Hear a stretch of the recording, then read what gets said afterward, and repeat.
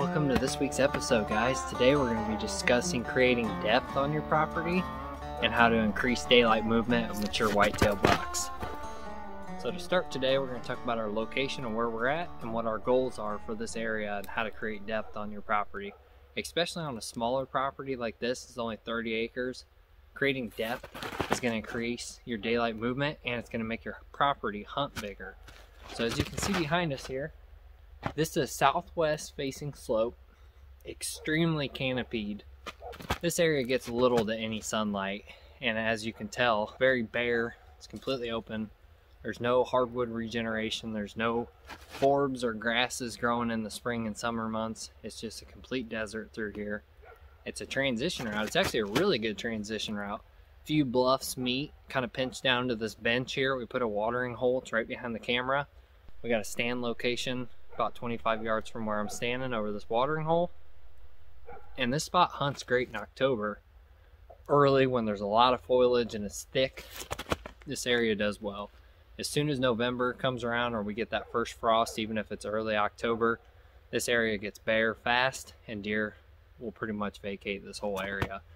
So what our goal is this off season is to come in here in about a week and a half.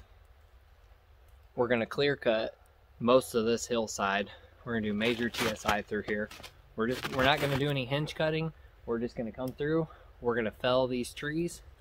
We're gonna fell them probably about three to four foot. So that hardwood regeneration, those new shoots coming off of it are at head height for a deer. And this will allow this whole area to get sunlight. We need to get sun to the forest floor. So during spring green up, we'll have new forbs, forage, there'll be grasses growing. This will be a great area for turkeys to nest to find food and it'll help whitetail. It'll create side cover, it'll create browse through here, and this area will be great by next season. So what I'm talking about when I'm saying creating depth on a farm is if you can see behind me, you can see all the way up this hill to the oak flat up there. And that oak flat's just a flat bench up there. Um, it does very well October, November, and then it kind of fizzles off.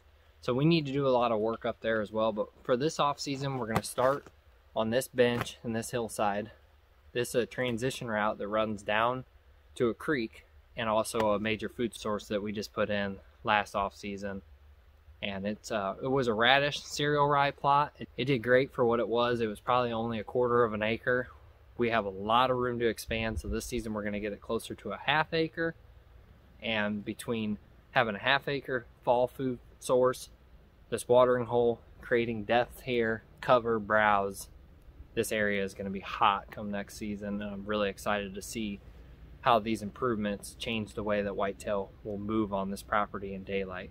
We're taking the natural travel route that they already use, and we're just defining it with water, cover, um, mock scrapes, and then food, the destination food source down in the bottoms. So what we'll do is we'll come through, like I said, in about a week, we'll cut all this. Um, we'll selectively cut some of the really big hardwoods we might leave, but there's a lot of just just junk hardwood trees through here. This property, we're not farming for wood. This is a strictly whitetail turkey hunting farm. It's recreational only. And this is providing nothing for any whitetail, turkey, any wildlife in general. It's just bare hardwoods all the way through here. By cutting this, we're going to get food down to the forest floor. We're going to create more browse. We're to create more cover. Once we get done cutting this, we'll come back through in April during turkey season and we'll do a follow-up video. We'll show you guys the new regeneration through here, all the new forbs, forage. Um, we'll show you all the stumps, how they sprout new shoots off of them, creating browse, especially this time of year when it's really bare. There's little to any food for whitetail. They rely on browse. 60% of their diet is browse, and unfortunately, there's not a lot of browse in this area. All the food is way up high. It's of no use to any critters right now, and we need to change that. So, top priority is creating depth on this, and also this area being only a half acre on this hillside is going to feel more like five acres because of how thick and dense it's going to be. And it's going to make the deer have to travel through here a lot slower they won't be able to just blow right through here, which is going to slow them down, keep them on our property longer.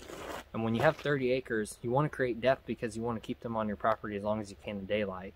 So one, they're going to have the cover. They're going to want to move here in daylight. They're going to want to bed in these areas. Two, it's going to create browse for them, so they'll have food and forage, and then it's going to keep them off the neighboring properties that much longer. And hopefully, by the time we get done with all this, they'll we'll create a whole motion on my farm where they'll daylight, and then they'll disperse off into the ag fields and neighboring properties at nighttime. We currently did this in one other location on the farm, and we're tying this piece into that. And that spot we did that already.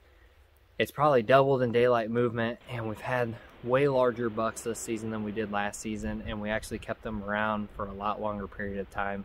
About two and a half months they stuck around on this farm before it just got so bare and there was no food source left for them. By clear cutting this, creating depth, cover, and forage, this is going to increase the daylight movement of mature bucks, and it's going to slow their movement down, and it's going to be able to allow me to create better stand location spots they'll be hitting our food source, our destination food sources, but they'll also be browsing this in daylight and it give us multiple stand locations. That's another thing on small properties is you need to space yourself out. Even if you have a couple stands in each area, by spreading out, you're not leaving a bunch of scent in one spot. Once you spook out a spot, that's pretty much it for you for the season. That's the hard part about hunting a small property is you don't have a lot of room for mistakes. So we want to thicken this property up. We want to create better movement in daylight. And then we're going to continue to use all of our good access that we did this year, but now with all the new growth. And by using the new regeneration as cover as well, when a buck is up on this hillside here, if he wants to bed down up there, he can see all the way down this whole hillside into our food source. He has no reason to go in there until night, especially during the rut when you want him to be scent checking does. He's going to know if a doe's in there or not. When we come through here and we cut this, by next spring, this whole area will thicken up and create so much cover and depth on the property that it's going to force that buck to actually have to come down the hill and check these areas. He won't be able to just scan it from top to bottom, which is going to improve our stand locations and it's going to increase our chances of getting to put an arrow through one of these bucks. So we're really excited about getting this project started. I hope this makes sense to you guys and we're going to be talking about this in April. We're going to be coming back probably in September and then next deer season we'll do another update on this. I want to show you how creating depth on your property will increase the daylight movement of mature bucks and it'll increase your odds of getting to put an arrow through one of them. Thanks guys for tuning in on this week's episode. We'll be back next Friday.